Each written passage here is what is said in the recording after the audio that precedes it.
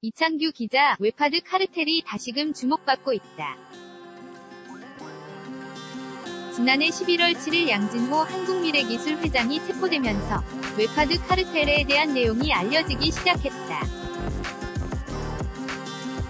양진호 회장은 폭행, 강요죄, 마약 투약 혐의뿐만 아니라 음란물 유통과 저작권법 위반 혐의도 함께 받고 있었다. 그가 이러한 혐의를 받게 된 것은 바로 그가 실소유주로 있던 위디스크와 파일노리 때문. 연합뉴스 두 업체는 국내 웹하드 업계 1, 2위를 달리고 있었는데 그 배경에는 저작권 침해 불법 자료와 음란물 콘텐츠 유포라는 어둠이 짙게 드리워져 있다. 게다가 이 음란물은 단순한 음란물이 아닌 리벤지 포르노였다.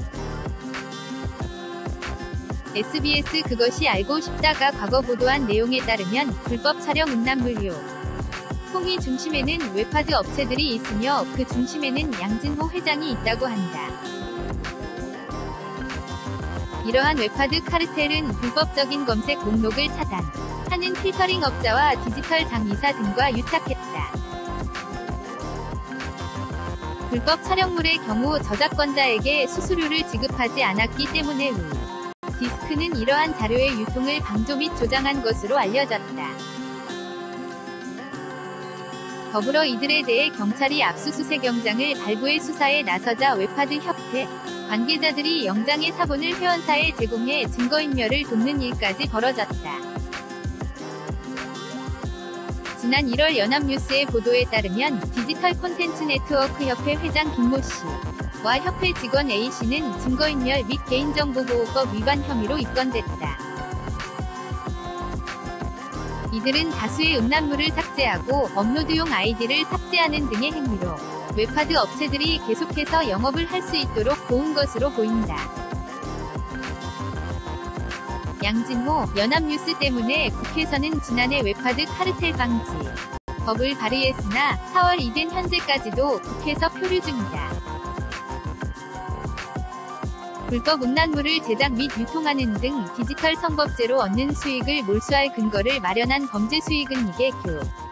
제및 처벌 등에 관한 법률 개정안은 법사위에 붙잡혀 지난달 28일 국회 본회의에 오르지도 못했다.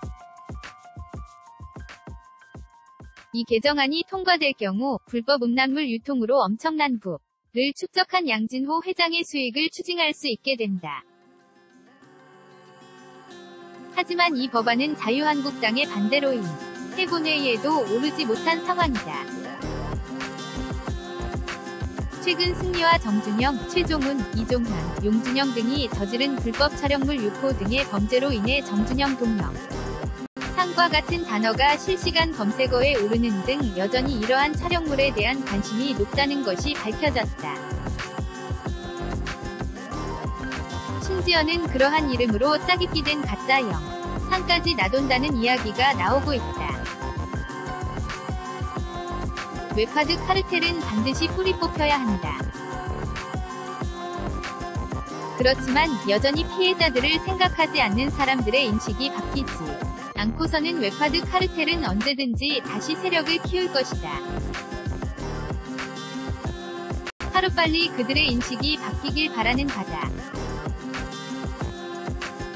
추천 기사 꿈꾸는 라디오 DJ 블락비 박경 팬들과 함께 찍은 셀카 눈길 멘사 회원 출신으로 그의 IQ는 백야행 손예진 송유나 김혜수 김민정과 함께 찍은 사진 눈길 차기작은 해적이 독전 진서연 에픽하이 술이 달다 뮤비 촬영 모습 공개 출산 후 그의 근황은 레몬밤 차 분말 셀룰라이트 제거 및 다이어트에 효과적 효능 부작용 눈길 고프로 히어로츠 현대 홈쇼핑서 방영돼 화제 제품의 구성 및 특징은 할로우미 11 스윙스 여친 임보라 완벽한 비율의 몸매 뽐내며 첫 촬영 인증샷 공개 모유유산균 락토바실루스 가세리 비엔알 17 다이어트에도 효과적 부작용 및 주의사항.